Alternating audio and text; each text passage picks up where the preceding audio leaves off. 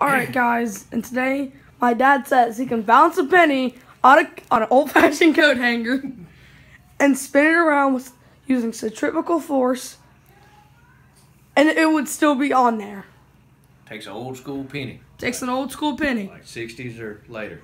60s or later, Early, sorry. early. You gotta put it face down. Gotta put it face down. Why'd you bend your old school coat hanger? This is the only way you can do it. This is part of the trick. Oh, that helps you get balance, doesn't it? Uh, yeah. Alright, see the penny on the coat hanger? Mm-hmm.